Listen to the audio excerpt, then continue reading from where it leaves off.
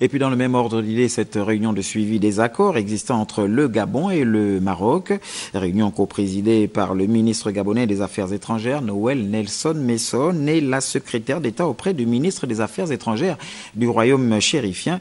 Les deux personnalités ont revisité plusieurs accords signés dans différents secteurs d'activité. Le point avec Tecler Mekumovono et Louis Bestar Lenyongo. Renforcer la coopération entre le Gabon et le Royaume du Maroc, multiplier les échanges d'expériences et surtout revisiter divers accords bilatéraux, tel était le but de cette séance de travail qui a réuni divers experts gabonais et marocains autour du ministre gabonais des Affaires étrangères et de la secrétaire d'État auprès du ministre des Affaires étrangères du Maroc.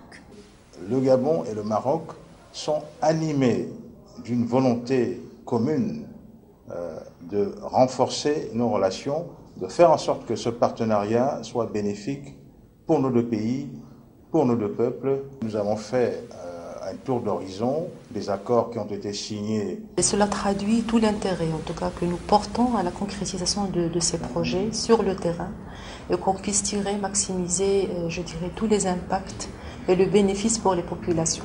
Plusieurs accords sectoriels ont ainsi été égrenés, des accords dans des domaines tels les mines, la marine marchande, la formation professionnelle et dont la matérialisation pourrait être imminente. D'ici quelques mois, le centre de formation Mohamed VI d'Angondje sera ouvert. Euh, il y aura bientôt euh, des centres euh, de dialyse qui vont être ouverts dans des villes du Gabon. Euh, il y aura bientôt des centres de, prise en charge euh, d'enfants autistes. Euh, il y aura bientôt des actions dans le domaine agricole, dans le domaine de, l'artisanat et du tourisme, autant de secteurs qui montrent bien que cette coopération est réelle, elle est agissante. Nous savons que le Gabon est engagé dans, un programme de relance économique. On le félicite parce que c'est un, programme très ambitieux, très concret.